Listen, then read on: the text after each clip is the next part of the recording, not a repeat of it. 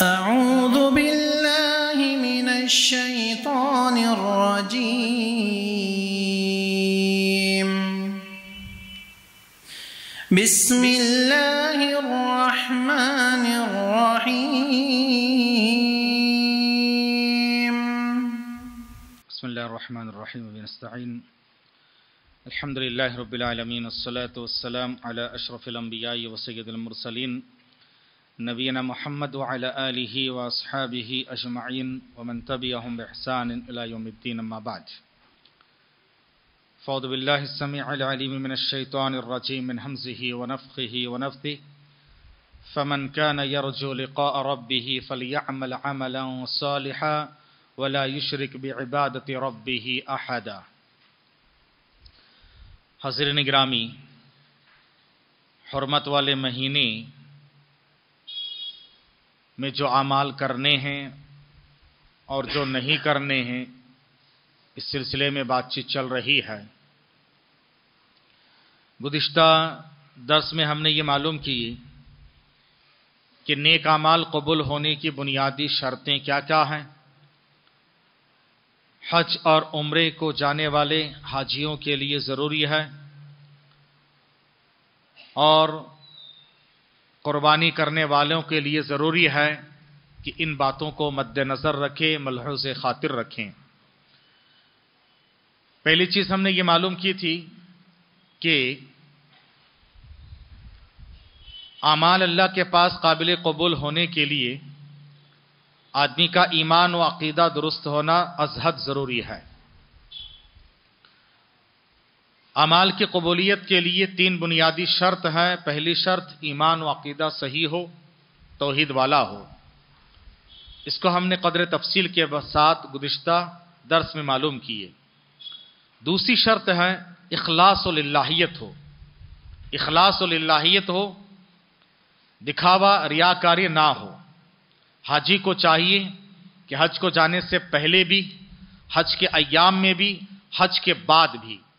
क्योंकि इंसान इंसान को शैतान गुमराह करता है, आमाल से पहले भी, आमाल के साथ भी और आमाल के बाद भी। तो तीनों तरह से गुमराही होती है।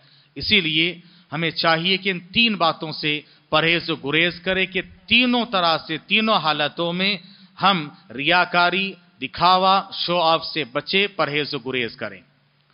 हजरीन तो हाजी और उम्र करने वाले मोतमिर को चाहिए कि हज से पहले भी, उम्र से पहले भी, हज उम्र के साथ भी, हज उम्र के बाद भी, तीनों एतबार से चाहिए कि इखलासलाहियत के पैकर बने। क्योंकि दिखावा और रियाकारी की वजह से इंसान को बड़ा नुकसान होता है, उसके अमाल बर्बाद हो जाते हैं। नमाज़ पढ़ने वाले नमाजियों के ताल्लुक से अल्लाह ताला ने फरमाया फ़वैलमुसल्लिन नमाजियों के लिए हलाकत तो बर्बादी हैं। कौन से नमाजी? कहा कि अल्लादीन हम अनसलातिहिम साहून, अल्लादीन हम युराउन। वो नमाजी जो नमाज़ से गाफिल हैं और दिखावा करता है, रियाकारी करता है। रोज़ क़्यामत तीन तरह के लोगों को सबसे पहले लाया जाएगा, सही मुस्लिम की हदीस है।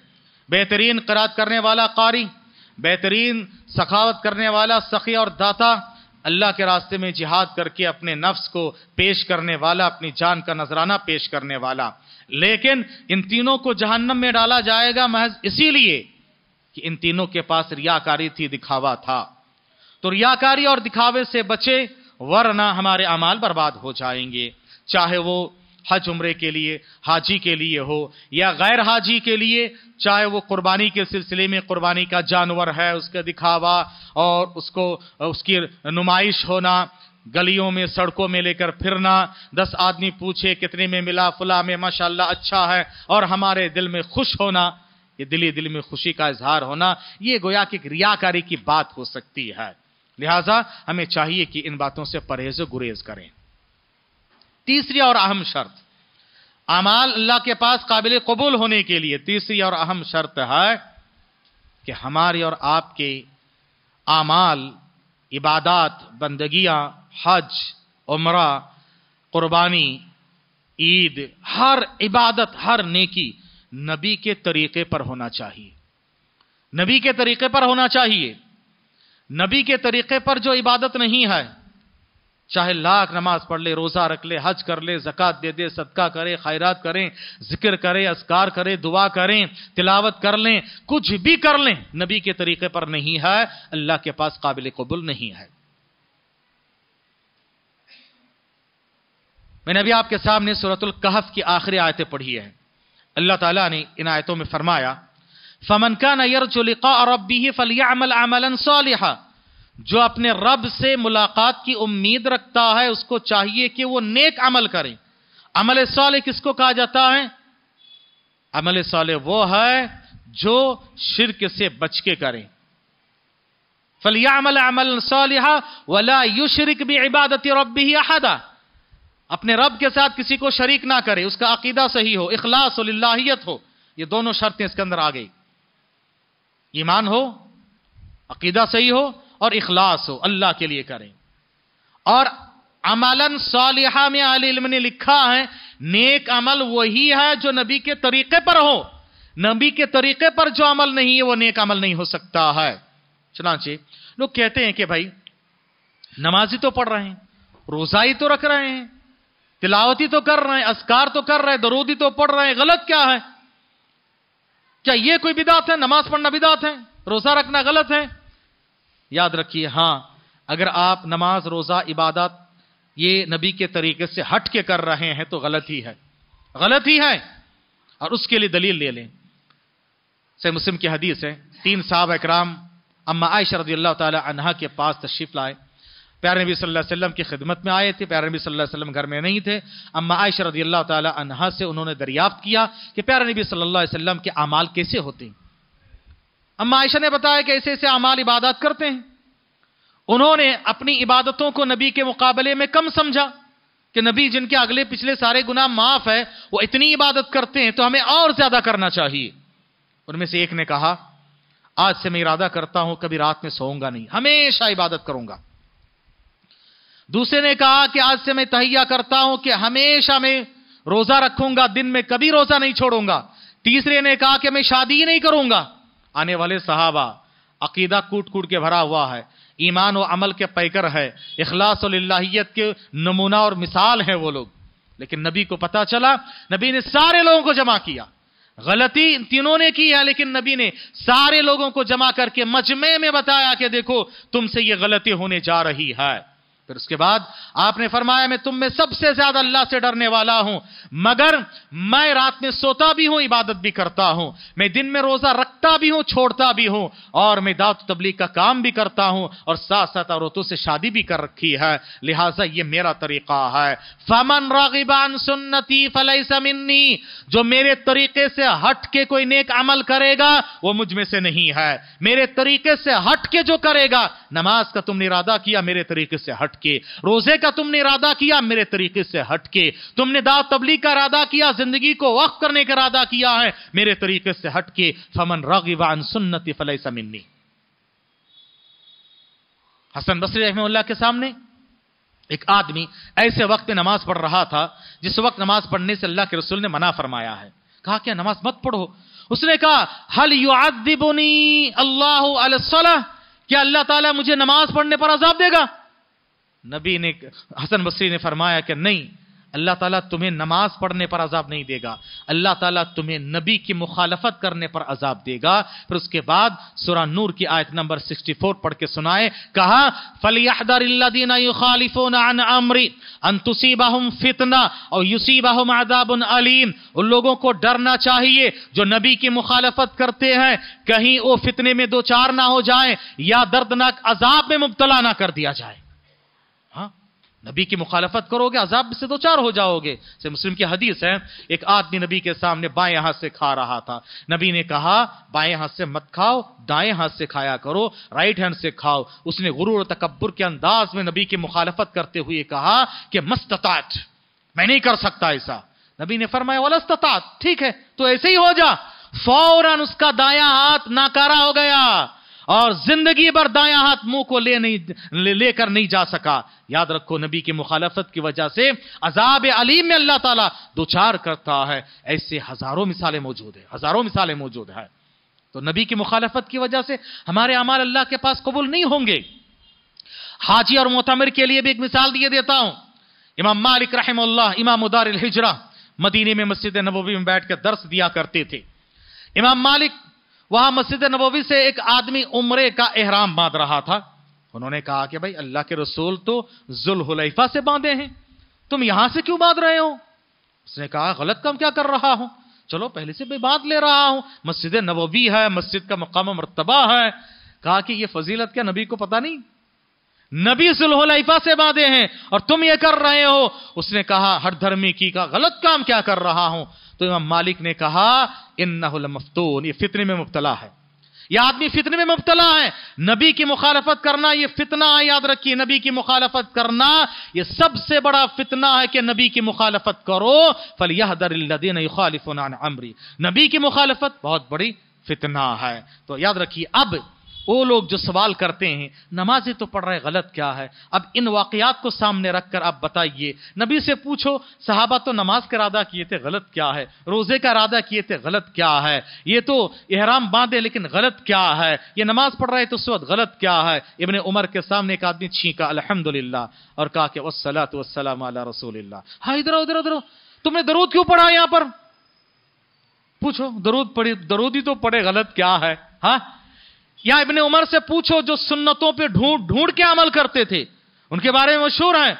नबी अगर चलते चलते कहीं आपको पेशाब की हाजत हुई, वहाँ उतर के पेशाब किए, देखे कि जगह ठीक नहीं है, या बैठ के नहीं कर सकते, खड़े होकर किए, इबन उमर वहाँ से गुजरते, पेशाब आए या ना आए, पेशाब लगे या ना लगे, वहाँ उतरते और खड़े होकर ही पेशाब करते। क्यों? नबी ने किया है, हा? इतने ज़्यादा नबी की सुन्नतों पर अमल करने वाले, कह रहा इधर आओ, तुमने दरूद क्यों पढ़ा? नबी ने सिर्फ़ अल्हम्दुलिल्लाह सिखाया। नबी से आगे बढ़ गए। अब पूछो, दरूदी तो पड़े भाई, गलत क्या है? यही है, इसको कहते नबी के तरीके पर चलो और साहब इकराम के तरीके पर चलो। शरीयत के उन्होंने समझा है। नबी के तरीके से हट के अगर आप इबादतों में चाहे कुर्बानी आपके हो, ईद हो, चाहे नमाज़ हो, रोज़ा हो, हज हो, जक़ात हो, उम्र हो, और हाजी उम्र उम्र करने वालों के लिए खसूसी पैगाम मेरा यह है कि आप जा रहे हो, यहाँ वहाँ की बातें नहीं, नबी के तरीके पर अमल करो और अल्लाह के पास काबिल कबूल नहीं होगा। ये आखिरी शर्त में अक्सर व बेशतर मुसलमान गुमराह है। गुमराह है। नबी के तरीके पर काम किया करो, क्योंकि नबी को अल्लाह ताला ने हमारे लिए रोल मॉडल बनाकर भेजा है। तो नबी के तरीके पर हमें चलना है। नबी के तरीके पर नहीं है तो ज़ाहिर सी बात है, आप अपने रोल मॉडल से हट रहे हो। खुलासे के तौर पर एक बात याद रखना, यही तीन चीज़ें कबर के सवाल भी हैं। उसी में आप कामयाब होंगे। इन्हीं को उसूल सलासा भी कहा जाता है। थ्री फंडामेंटल्स जो इस्लाम के बुनियादी चीज़ें हैं, रुकन है, अरकान है, यही है। उसूल सलासा यही है, तीन बुनियादी बातें यही है, कबर के तीन सवाल यही है। तुम्हारा रब कौन है? तुमने ईमान अकीदा किस पे रखा है, हा? तुम्हारे नबी कौन है? तुमने आइडियल किसको माना है? तुम्हारा दीन क्या है? तुमने ज़िंदगी किसके तरीके पर गुजारा है, हा?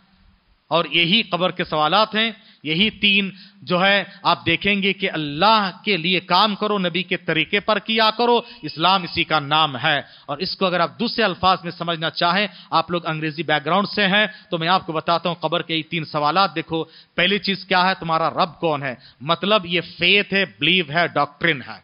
हा? ये फेथ और बिलीव है। हा? दूसरे नंबर पे तुम्हारे नबी कौन है? मतलब ये क्या है? आइडियोलॉजी है। ये आइडियोलॉजी है। और तुम्हारा दीन क्या है? ये मेथोडोलॉजी है। हा? ये मेथोडोलॉजी मेथड तुमने क्या फॉलो किया है? ये मेथोडोलॉजी है। और तुमने आइडियल किसको माना? ये आइडियोलॉजी है। और तुम्हारा बिलीव और फेथ क्या है? अल्लाह अकबर, ये सारा खुलासा है। आखिर में एक बात मैं अर्ज़ करना चाहूँगा, और वह है कि आज, अभी मगरिब से जुलहिज्जा की 29 तारीख शुरू हो चुकी है। 28 खत्म होकर 29 शुरू हो चुकी है। अगर 29 का महीना हो तो आज एक दिन है। हाँ जुल्कायदा के महीना जजाकल्ला जुल्कायदा का महीना आज, यानी 28 तारीख खत्म होकर उनतीस शुरू हो चुकी है तो जुलहिजा शुरू होने वाला है। प्यारा नबी सल्लल्लाहु अलैहि वसल्लम ने हदीस में फरमाया से मुस्लिम की रिवायत है कि इदा रई तुम हिलाल हिज्जा जब तुम जिलहिज्जा के हिलाल को देख लो, चाँद को देख लो, वो अरादा युदह और तुम में से एक आदमी ने कुर्बानी का इरादा किया है तो वो अपने बाल और नाखून ना निकाले ना निकाले तो एक दिन अगर उनतीस का महीना हो तो हमारे पास एक दिन है। आज एक दिन अरबी के हिसाब से मैं बता रहा हूँ, अंग्रेज़ी के हिसाब से कल समझ लीजिए, यानी संडे, एक दिन आपके पास है कि आप अपने बाल, नाखून ये सब निकाल लें, उसके बाद आपको नहीं निकालना चाहिए। और अगर तीस का महीना हो जाए, वैसे कैलेंडर में तीस दिखा रहा है, ऐप में उनतीस दिखा रहा है, इसलिए एहतियात का तकाजा है कि कल ही आप उससे फारिग हो जाए। कौन करना, जिसने कुर्बानी का इरादा किया है। जिसकी तरफ़ से कुर्बानी होगी। घर में दस अफराद हैं, लेकिन जिसके तरफ़ से, जिसकी तरफ़ से कुर्बानी होगी, उसी को एहतियात करना है। सारे घर वालों को नहीं। गरचे एक कुर्बानी सारे घर वालों की तरफ़ से है, लेकिन फिर भी फिर भी सारों को एहतियात नहीं करना है। जिसकी तरफ़ से कुर्बानी होगी, उसको एहतियात करना है।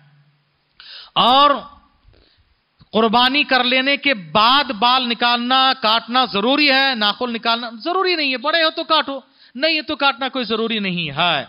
और एक बात याद रखिए कि आप दाढ़ी छिलना, वो पहले भी जायज़ नहीं, बाद में भी जायज़ नहीं है। आप जो दस दिन छोड़ दिए, उसके बाद जाके दाढ़ी छिल रहे हैं। ऐसा है कि वो व्हाट्सएप में गर्दिश कर रहे हैं कि दूध में पानी मिलाया, मिलाने के बाद धोखा दिया। अब बचा कुछ पानी, बचा हुआ है, बैठ के पी लिया। कहा कि ये क्या है, बैठ के पानी पीना सुन्नत है। दूध में पानी मिलाना, वो क्या है? दूध में पानी मिलाया, हराम काम किया, धोखा दिया, उसके बाद बैठ के पानी पी रहा सुन्नत है कहते अल्लाह अकबर।